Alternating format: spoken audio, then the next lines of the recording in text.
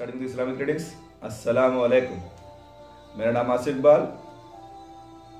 खुश आमदीद आपका मेरे ब्लॉग पे। आज हमें रमज़ान का चाँद दिख गया है। तो आप सबको रमज़ान मुबारक। खैर मुबारक। रमज़ान करीम। अल्लाह हम सबको अच्छे से रखे, अपने अपना अमान में रखे, खुश रखे और उसकी बंदगी करने का हमें सरफ हासिल हो। तो दोस्तों, रमज़ान अरबिक कैलेंडर के हिसाब से, हिजरा कैलेंडर के हिसाब से नवा महीना है। शाबान के बाद रमज़ान आता है और बहुत ही मुबारक महीना है। कुरान में इसका ज़िक्र है और इस मुबारक महीने में कुरान नाजिल हुई। हुजूर पे कुरान नाजिल हुई रमज़ान के मुबारक महीने पे।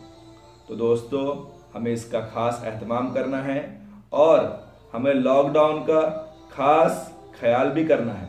हमें किसी पब्लिक गैदरिंग में अफ्तार के वक्त खास करके हमें घरों पे रहना है और अफ्तार का अहतमाम करना है, रोज़ा रखना है, घरों में नमाज़ पढ़ना है, तरावी पढ़नी है और कुरान पढ़ना है और अल्लाह अल्लाह करना है।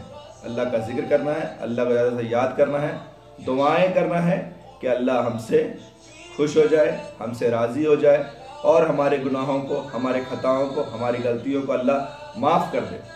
ये मकफरत का महीना है। इस्लाम के पाँच रुकन से एक रुकन रोज़ा रखना है।